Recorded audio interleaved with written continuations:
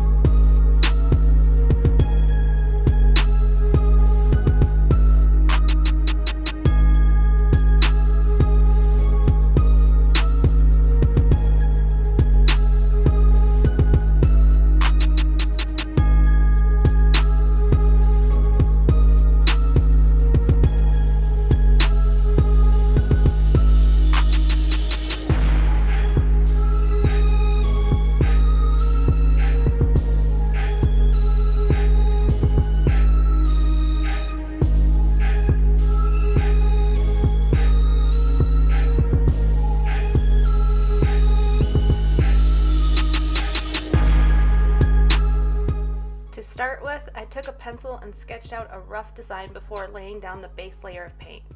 I started with the lighter colors on the orange and finished by covering the details with a darker color so it would really pop.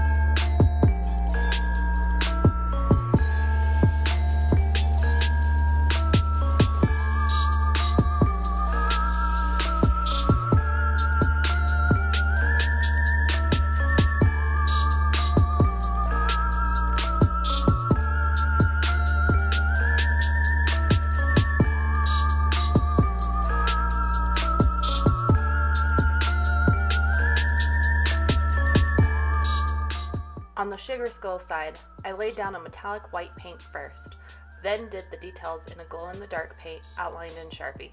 This way, when I pull out the black lights, the eyes will really stand out.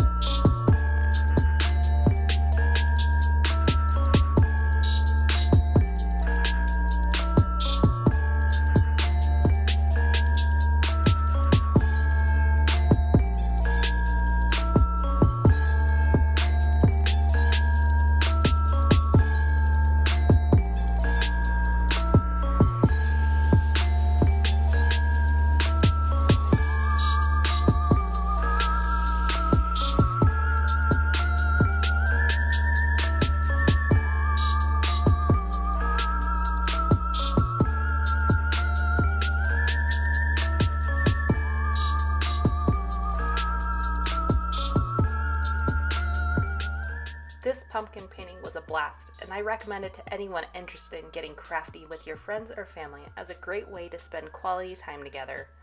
Again, thanks for watching, and don't forget to hit the like and subscribe button so you get notified when more content like this is available.